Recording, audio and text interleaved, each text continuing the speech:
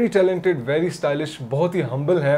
He is a good नहीं good नहीं best hair stylist in Pakistan he is Qaiser Baloch अस्सलाम वालेकुम कैसे हैं कैसे ठीक है अल्हम्दुलिल्लाह मैं ठीक हूँ। कैसर बहुत गर्मी आ गई है।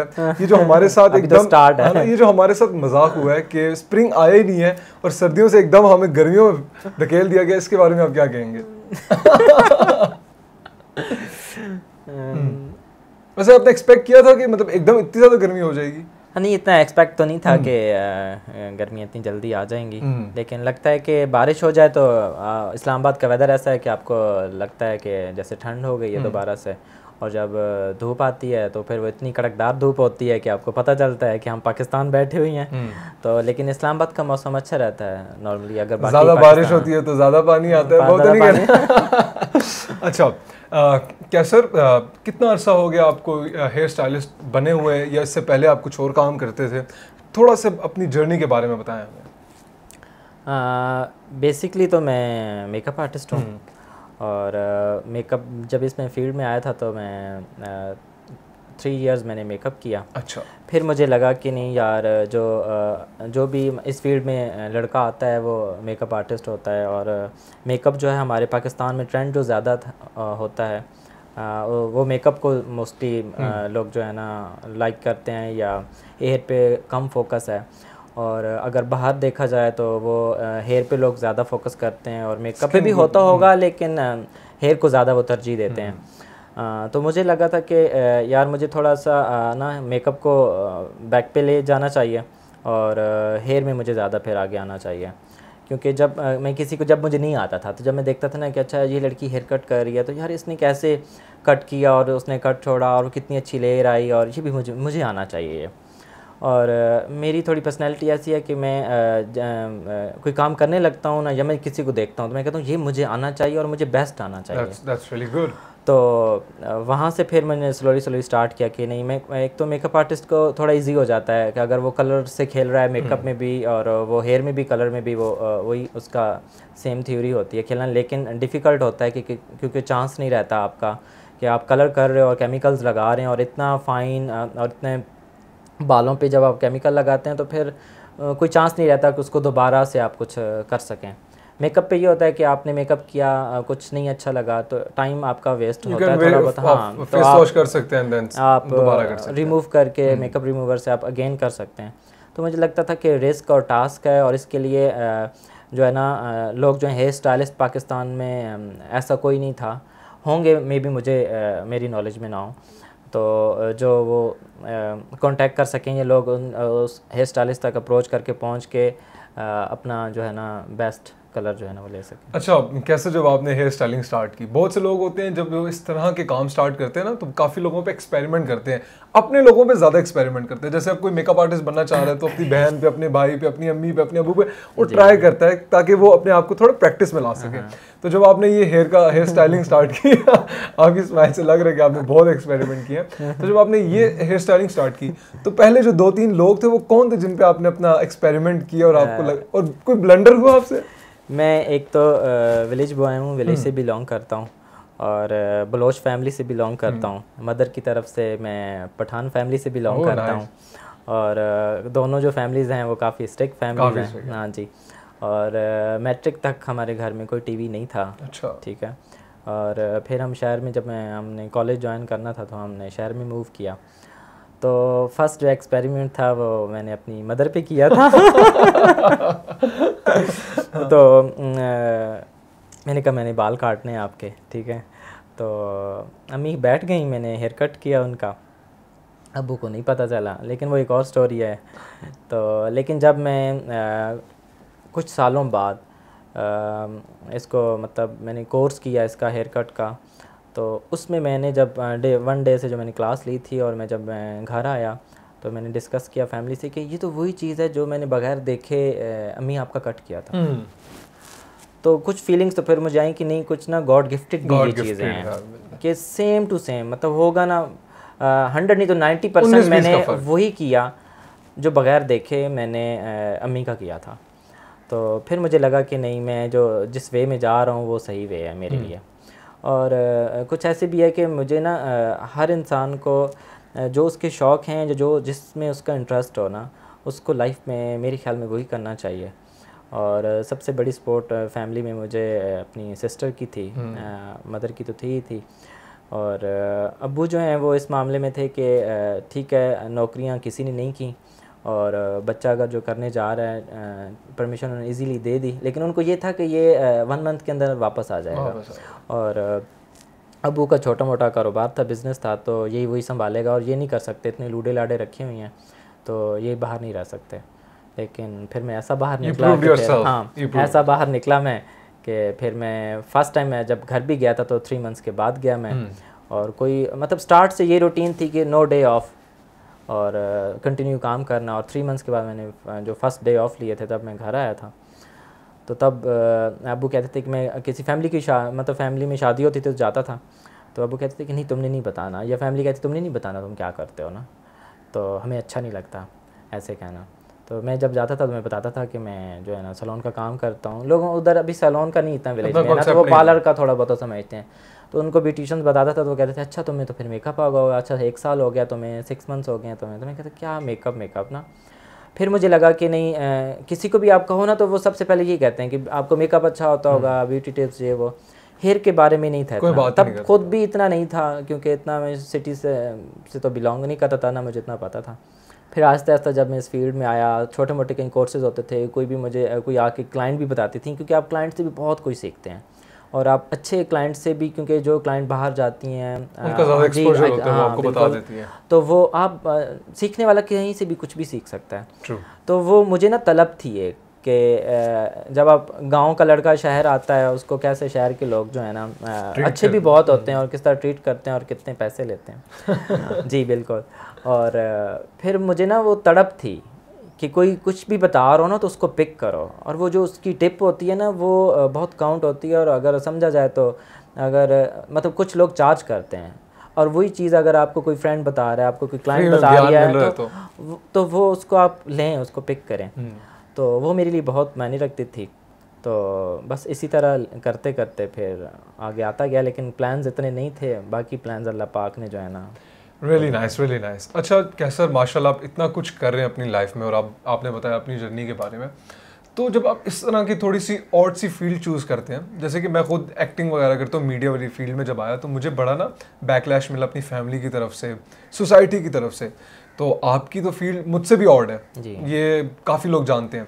तो जब आप एज अ मेल आपने जब ये फ़ील्ड को ऑप्ट किया ठीक है तो आपको जो बैकलैश मिला आपने उसको कैसे ओवरकम किया? जैसे कि अभी आजकल तो हमारे बहुत से नौजवान हैं जो इस फ़ील्ड में आना चाह रहे हैं मेल नौजवान है। क्योंकि ये कोई बुरी फ़ील्ड नहीं है इसमें तो बहुत कुछ इंसान अर्निंग कर सकता है। नॉर्मल इंजीनियरिंग करके तीस चालीस हज़ार से ज़्यादा अर्न कर सकते हैं वो आप बहुत बड़ी मिसाल हमारे साथ मौजूद है। तो जब एक नौजवान लड़का वो जब उसके पास एक आर्ट भी जैसे आपने कहा कि आपने मामा की कटिंग की बगैर क्लासेस लिए और आपने बहुत अच्छी कर ली ठीक है? तो इस तरह के बहुत से लड़के होंगे जो ये सब कुछ कर सकते हैं। लेकिन क्योंकि वो सोसाइटी का प्रेशर होता है उन पर और वो कहते हैं कि यार ये क्या? ये तो सैलॉन का काम करेगा ये हेयर ड्रेसिंग करेगा। तो वो पीछे रह जाते हैं। तो आपने कैसे इस सोसाइटी को फाइट किया और कैसे आप अब माशाल्लाह now you are Qaiser Baloch. पहले शायद आप अपने बाबा के बेटे थे हाँ। आज आप कैसर बलोच है। तो वो किस तरह कैसर बलोच बन सकते रियल नेम तो मेरा कैसर अब्बास है। अच्छा। और कास्ट की वजह से फिर वो हम्म। कैसर बलोच है और कैसर बलोच की वजह से जो है वो अब तो मतलब जगह जगह जहाँ जाता हूँ तो लोग पहचानते हैं काम की वजह से। तो एक तो ये है कि ना मेरा बहुत ना तरबियत कह लें हम्म। कि कहीं घुलना मिलना आना जाना नहीं था। ये तो बहुत ज़रूरी होता है आजकल के हमारे दौर में। हाँ। लोग कहते हैं पीआर होगी तो काम चलेगा वरना चलेगा हाँ, हाँ सही कह रहे हैं लेकिन ना होने के बराबर था बिल्कुल अच्छा। भी। और बस अपनी लिमिट्स तक और कोई इतनी ज़्यादा गैदरिंग शैदरिंग भी नहीं थी वो। हम्म। और फैमिली ने बस अबू ने यही बोला था कि वापस आ जाएगा ठीक है जाने दो जो करना है आप लोगों ने आप करें इसमें भी उनका ये कह देना भी क्योंकि कभी ना माँ बाप को वो गिला घर तक आने नहीं दिया हम्म। वरना अगर ऐसी बात होती तो वो भी मे बी कुछ कहते या क्योंकि बलोच फैमिली हो और अबू जो हों वो भी गाँव में पले बड़े हों हम्म। और उनकी सोच ऑफ़ कोर्स तो वो कह सकते थे कि बिल्कुल नहीं जाना ये नहीं करना या या मेरे ख्याल में उनको भी इतना पता ही नहीं था। ही थॉट के शायद बार बार बन रहा है। हाँ उनको भी, उनको पता ही नहीं था कि फीमेल में फ़ील्ड में जा रहा है तो ये कर रहा है और वो। लेकिन आजकल के नौजवान को आप क्या कहेंगे? वो किस तरह इस सोसाइटी को फाइट करें? इस तरह के प्रोफेशन को ऑप्ट करने के लिए? क्या एक डीट तो- हो जाए? नहीं एक तो ये है कि कोई भी फ़ील्ड है कोई भी काम है जो सब्र है ना कि आप अपने मकसद में डटे रहें और सब्र के साथ और अपनी जो आपकी मंजिल है वो पाने के लिए जो अनथक मेहनत है उसमें कंटिन्यू रहें तो फिर ही आप आप हासिल कर हाँ आप बता सकते हैं लोगों को अपने काम के थ्रू। अच्छा तो ये आपने हेयर स्टाइलिस्ट तो आप हैं। लेकिन उससे बढ़ के आप बड़े अच्छे मशहूर टिकटॉकर भी हैं। तो कुछ ये बताएँ कि आपका जो एक हेयर स्टाइलिस्ट होने के साथ साथ एक टिकटॉकर होने का जो सफ़र था टिकटॉकर नहीं मतलब जो टिकटॉक्स आप बनाते हैं। आ, इसका जो सफ़र था ये आइडिया कहाँ से जनरेट हुआ कि यार ये जो मैं कर रहा हूँ इसको वाई नॉट मैं इसको वीडियोस के तौर पे पेश भी करूँ और ऐसे बालों को लहराऊं और शाहरुख खान बन जाऊँ ऐश्वर्या मेरे आगे बैठे इसके बालों को लहराऊं। तो ये जो एक कॉन्सेप्ट आया आपके पास और माशाल्लाह वो बड़ा मशहूर हो गया। मैं आपकी टिकटॉक्स देख रहा था और कोई भी ऐसी टिकटॉक नहीं थी जिसमें कम व्यूज़ हो कम लाइक्स हो। सारी वायरल होती हैं। तो ये कैसे आप में एक आइडिया जनरेट हुआ कि यार लेट्स डू ये पहले तो ये था कि मेरे जो छोटा भाई है मुझसे वो बाहर था। अच्छा। तो मेरी सिस्टर बनाती थी। क्योंकि मेरे साथ मेरी सिस्टर भी काम करती थी। अच्छा। तो वो बस मुझे पता है कि वो ऑफ़िस के अंदर बस लाइट्स के आगे लिपसिंग करना ये वो ना तो मैं बिज़ी होता था तो मैं कहता था ये तुम लोग क्या करते रहते हो ना? क्योंकि हर हर किसी की अपनी एक नेचर और एक पर्सनैलिटी है मुझे ये चीज़ें थोड़ा अच्छी नहीं लगती थी। फिर मैनेजर भी कभी कभी बना लेना तो मुझे कहना कि तुम भी बनाया करो। मैंने कहा जो तुम लोग करो वही तुम ही करो मैं ये नहीं कर सकता। फिर कुछ टिकटॉकर आए वो उन्होंने काम कराना था तो वो मतलब काम करवा रहे थे जैसे और यूनिसेक्स सैलून था। तो वो काम देख रहे थे कि रियल में कि ये तो बहुत हट के काम हो रहा है ऐसा काम तो ज़ाहिर वो जाते होंगे और सैलून्स में भी उस तरह का नहीं होता होगा। कोलाब्स करते होंगे या जो भी है तो उस तरह का उन्होंने नहीं देखा होगा। तो उन्होंने मिलवाया मुझे। उनसे बातचीत की उनको लुक्स दिखाई बहुत ज़्यादा जो मेरे पास मतलब डाटा होता है। तो उनको लगा कि आपका तो इतना अच्छा काम है आपको ना टिकटॉक पे आना चाहिए ना। तो मैंने कहा नहीं भाई अ, मैं ना वो बंदा ही नहीं हूँ कि मैं ना फेस कर सकूँ कैमरे को। तो उन्होंने कहा नहीं आप एक दफ़ा ज़रूर ट्राई कीजिएगा और ट्राई करेंगे तो आप ना आपकी फ़र्स्ट वीडियो वायरल हो जाएगी। मुझे आज भी उनके अल्फाज याद अच्छा कौन थी वो? अ, न, कौन था वो? थे सिड भाई हैं। सिड रैपर हाँ। उन्होंने बोला था। अच्छा अच्छा अच्छा। वो आए थे मेरे पास। तो फ़र्स्ट वीडियो भी मेरे मैनेजर ने लगाई थी मुझे नहीं पता था। वो उन्होंने लगाई मैंने काम किया फिर मैंने लाहौर निकलना था। मैं निकला मुझे मैसेजेस आ रहे हैं कॉल्स आ रही हैं तुम तुम्हारी वीडियो वायरल हो गई। मैंने कहा पता नहीं कौन सी वीडियो वायरल मैंने ऐसा क्या कर दिया? तो अच्छा मैं तब भी टिकटॉक नहीं ओपन कर रहा था। नहीं पता था कि यहाँ लाइक्स होते हैं यहाँ कमेंट्स होते हैं या कुछ भी होता है। मैं तकरीबन कोई वन वीक के बाद वापस आया। अच्छा। मतलब वहाँ पे भी मैं जब लाहौर में भी था तो मैंने आप मेरा फीमेल काम है ना तो मुझे चाहे किसी भी ड्रेसिंग में फ़ीमेल आए ना तो आपको पूछना चाहिए कि आपका अलाउ है या मुझे आपकी पिक्चर वीडियो बनानी चाहिए या नहीं बनानी चाहिए। तो ये मेरा अ, ये मेरी आदत है जो भी है अच्छी बात है। कि मैं पूछता हूँ। तो मैंने उनसे पूछा कि आपकी वीडियो बना सकते हैं ऐसे। मैं जस्ट इंस्टा के लिए टिकटॉक के लिए नहीं। तो उन्होंने कहा जी जी मैं आपकी ना वीडियोस देखी आप बना सकते हैं। तो मुझे थोड़ा सा वो लगा भी सही कि क्या कह रही हैं और थोड़ा लगा मैंने थोड़ा सरसरी सा वो क- कर दिया उसको। फिर ना आफ्टर फाइव डेज़ मैं एक कुलीग्स के साथ वहाँ पे फाइनल डिनर था वहाँ गया। हम ऐसे ही बैठे हुए हैं और मैंने कैप पहन मोस्टली मैं जब बाहर जाता हूँ मैं कैप ही पहन लेता हूँ क्योंकि मेरा ये छः सात साल से मेरी ये Really है। तो थैंक यू तो वहाँ पे ना कोई 18 टू 20 इस तरह बॉयज़ आए यूनिवर्सिटी के साथ ही कोई यूनिवर्सिटी थी मुझे नाम नहीं याद। तो हम वैसे फ्री बैठे थे। तो वो पहले उन्होंने मुशायरा और आपस में जो होता है वो करते रहे जो लड़कों का आपस में ऐसे होता है। उसके बाद उन्होंने कहा कि यार तुम कैसर ब्रोच के आजकल वीडियोस देख रहे हो ये वो? तब मुझे लगा कि ब्रो आई एम फ़ेमस कि ये जो चीज़ जो मैं समझ रहा था ना कि ये नहीं है इतना इसको अगर पॉजिटिव लिया जाए ना तो ये बहुत कुछ है और बहुत, बहुत पावर है। ट्रू तो फिर मुझे लगा कि नहीं लेकिन उस टाइम तो मैं वहाँ से थोड़ा सा नर्वस और पजल और मैंने कहा चलो जी दोस्तों को दोस्त थोड़े दूर बैठे थे। उन्होंने कहा चलो यहाँ से हम चलते हैं ना। लेकिन वो मेरे माइंड में हुआ कि यार मैं कहाँ मैं इस्लामाबाद हूँ अच्छा वीडियो लगाई अच्छा ये लोग जो हैं वो मेरे टॉपिक पे बात कर रहे हैं और अच्छा कर रहे हैं पॉजिटिव कि उसने अच्छा काम किया उसका अपना कलर देखो ये वो। फिर मैं आया वापस फिर मैंने कंटिन्यू की वीडियोस और फिर मे भी बाद में और भी ना करता वो कोई टू वीक्स के बाद कोविड और फिर सारा लॉकडाउन लग गया और ये वो। मैं विलेज आ गया विलेज में मैं कितना विलेज को वो मतलब सुबह शाम जाता जो घूमता फिरता इतना मैं नहीं वो घूमता फिरता। फिर मैं मेरे पास जितना डाटा पड़ा था वो सारा फिर मैं लगाना स्टार्ट कर दिया लगाते लगाते मेरे कोई थ्री मंथ्स में सिक्स हंड्रेड के वो हो गए थे। रियली नाइस और बस ये काम फिर चल निकला। भाई अब फ़ेमस है माशाल्लाह टू गुड बहुत अच्छी जर्नी थी आपकी। अच्छा अब कुछ रैपिड फायर हो जाए व्हाट डू यू थिंक मज़ा मज़ा तो रैपिड फायर का ही आता है उसके अलावा तो किसी चीज़ का नहीं आता। नहीं नॉर्मल से क्वेश्चन इतने कोई खास नहीं है मतलब तो आपको फंसाऊँगा नहीं। अच्छा पहला टिकटॉक या इंस्टाग्राम अगर एक चूज़ करना पड़े तो। एक चूज़ करना हाँ। पड़े ये तो बहुत ही मुश्किल सवाल है दोनों मेरे लिए। नहीं लेकिन एक एक एक एक एक एक। अ, सदाबहार तो फिर इंस्टा ही है। इंस्टाग्राम अच्छा जी। इस्लामाबाद या पिंडी? इस्लामाबाद। इस्लामाबाद ओके टिकटॉकर्स या यूट्यूबर्स यूट्यूब तो मैं इतना बहुत कम देखता हूँ हम्म। नहीं देखता। अच्छा। हाँ लेकिन ड्रामा पाकिस्तानी जितने भी हैं वो देखता हूँ। टाइम मिले तो हाँ टाइम मिले तो क्योंकि उनका ही जस्ट है। और सॉरी आपने टिकटॉक हाँ नहीं टिकटॉकर्स या यूट्यूबर्स टिकटॉक टिकटॉकर्स अच्छा अब इमेजिन करें कि आप एक लिफ्ट में फंस गए हैं ठीक है? और अब वो लिफ्ट आपको कह रही है कि एक बंदे को यहाँ से बाहर फेंकना है और एक के साथ ऊपर जा सकते हैं आप ठीक है? आप जैसे आपने कहा कि आप पाकिस्तानी ड्रामास देखते हैं। तो आपके साथ लिफ्ट में फिरोज खान है? और एहसन खान है। ठीक है? ठीक है? दोनों को आप जानते होंगे। और शायद सलाम दुआ भी आपकी अच्छी हो। अब इनमें से एक को आपने लिफ्ट से बाहर धकेल देना है और एक के साथ आपने ऊपर चले जाना है और बस दुनिया में आप दो लोग ही हैं।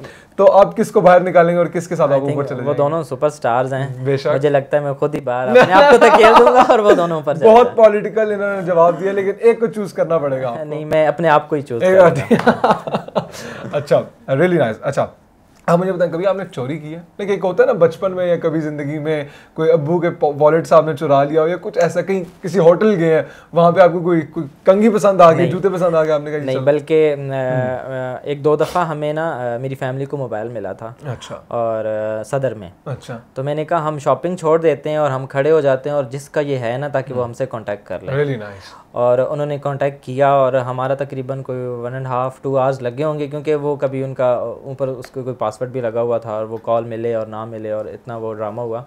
लेकिन उनको जब मिला और जब मैंने उनकी स्माइल देखी ना तो मतलब वो वो बहुत एक बहुत चीज़ होती है नो डाउट तो मेरी ऐसी अच्छा। अच्छा अब मुझे बताएँ कि अगर आप एक हमारे पाकिस्तानी जो फ़ैशन इंडस्ट्री है उसके बारे में एक लफ्ज बोलना चाहें तो क्या बोलेंगे?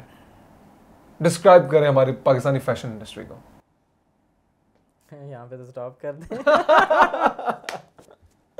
नहीं एक लफ्ज अच्छा कोई बुरा कुछ भी लाइक मुझे लगता है कि जो आ, अच्छी चीज़ है ना फ़ैशन दिखाने के लिए और जो रियलिटी में हम दे, मैं देखता हूँ या वो दिखाई नहीं जा रही स्क्रीन आप बैक बैक स्टेज होते हैं ना हाँ। हाँ।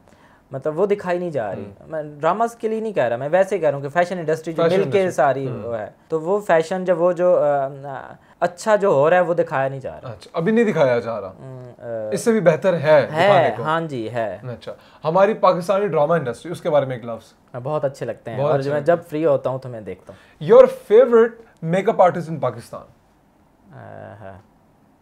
ये तो मुश्किल सवाल। है हम्म चूज़ करें।